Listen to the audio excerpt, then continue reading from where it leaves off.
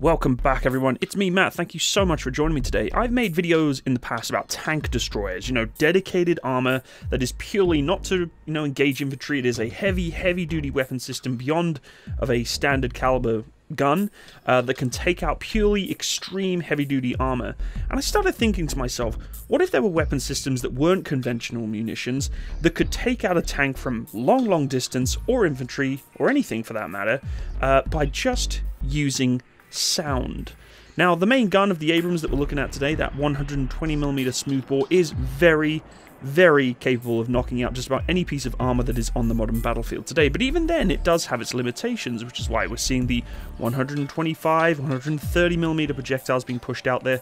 But I looked at a sort of a sci-fi side of things, and we know that there's sound weapon technology out there. It exists purely more so at a police kind of level. Um, I've seen some, you know, uh, sound technology that's been used in Korea uh, that is just sort of producing huge frequencies and sound capabilities to deafen people almost from long distances. But what about tanks? What if there was a upscaled high energy sound system that could be put either in parallel to the main gun of a tank or maybe used as an infantry deterrent? But I think this is a really cool rhetorical situation, of course, to look at, because of course we know we're not going to see high energy sound weapons coming out. But let's see if we can start a heated comment war in the comment section below about sound weapons and the sci-fi capabilities of them in the future. But before we get started, I'd like to do a massive shout out and thank you to today's product video sponsor, Thodio, who produce a 50 caliber known as the A-Box Original Ammo Can Boombox speaker system. Yes, it is a really unique and very professionally looking 50 caliber speaker system, which is Bluetooth and wireless for you to be able to stream your music wherever you are around the world, potentially on top of this Bradley as you're firing rounds downrange, maybe with some ACDC. And I really, really like this ammo can. Now, believe it or not, I actually made a very similar version um, of an ammo can in the past uh, using a 7.62mm ammo can for myself. I just sort of retrofitted it, but I wanted something that's more professional looking. So I looked for the Thodio system and I uh, was actually able to get um, a product sent to me, and I am absolutely loving using this system.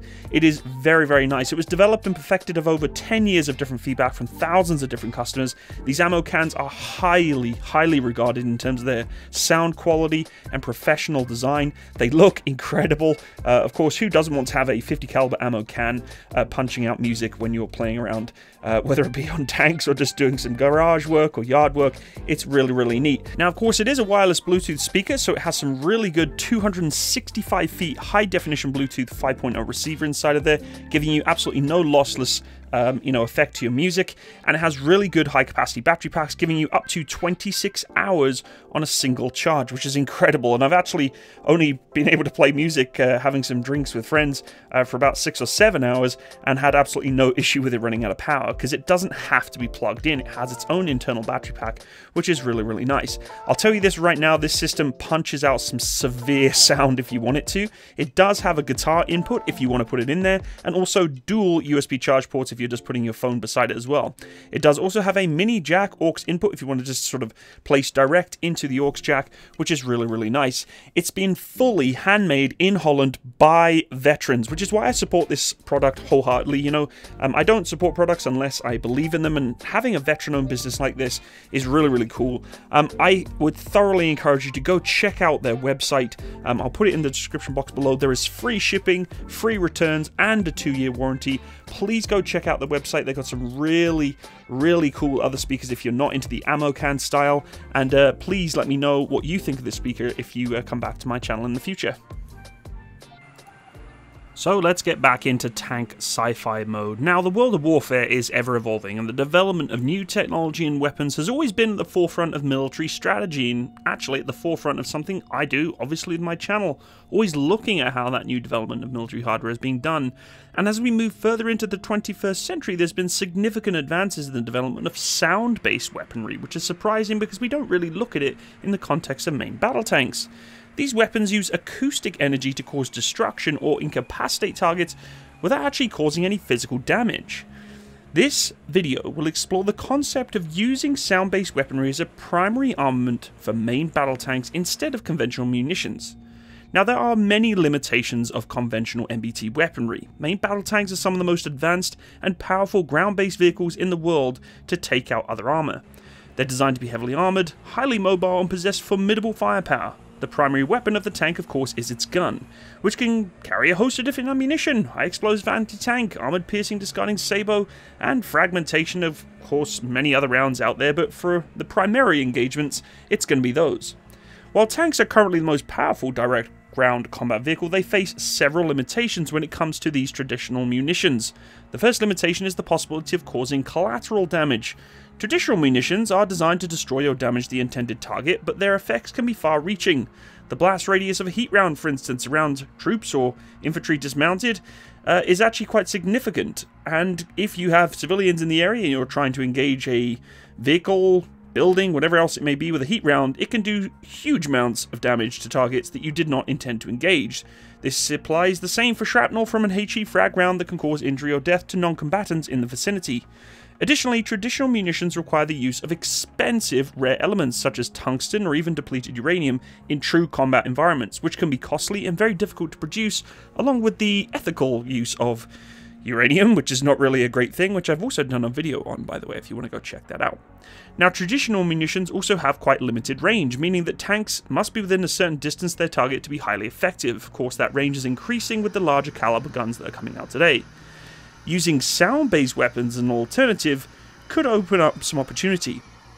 One potential solution to these limitations is to use this weapon, and these weapons use sound waves to disrupt or incapacitate targets without actually sending anything physically to the target. These weapons are actually currently being used though, as you see many footage out there of law enforcement and military personnel using the long range acoustic devices or LRADs and acoustic grenades even exist of course just in flashbangs that can totally disorientate an infantryman that is hosting in a defensive standpoint in a building.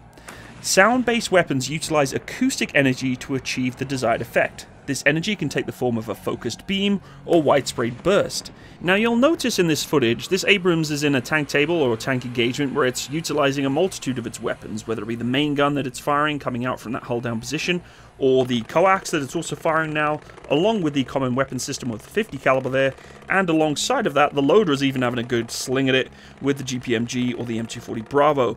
So when we're looking at sound acoustic weapons, it doesn't have to be truly a main gun weapon system. It can be something more zeroed and specific to take on infantry engagements that could make someone go absolutely stir crazy not being able to know even where the target is because there's no flash, there's no explosion, there's no trace of where that engagement is coming from, but you are being deafened and your eardrums are about to explode, or the brain is being affected by the particular sound waves or whatever kind of frequencies coming across to you or your troops.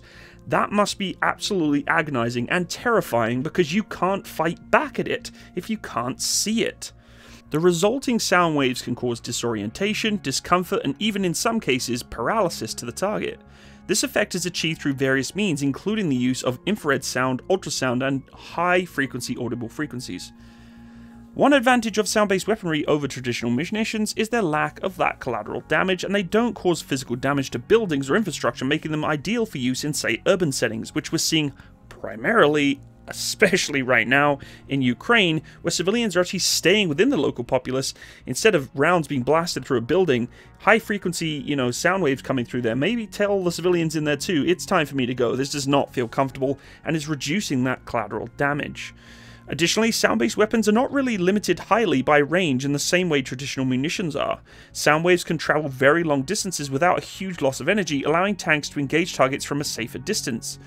Another advantage of sound-based weaponry is its cost effectiveness. Unlike traditional munitions, sound-based weapons do not require expensive rare elements to function.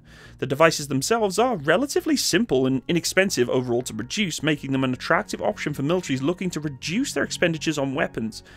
However, you have to consider the amount of power that will be required for a main battle tank or an infantry supporting vehicle to capitalize on this kind of weapon. A lot of energy is going to be produced, therefore you're going to want an engine or a power pack that's able to produce high amounts of electricity to supply the frequency and necessity to actually engage something such as a main battle tank that is actually absorbing the sound waves and turning the crew inside absolutely stir crazy.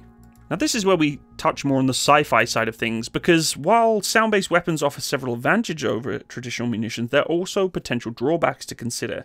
One of the main concerns truly is, though, the effectiveness of these weapons against heavily armoured targets such as tanks and armoured vehicles.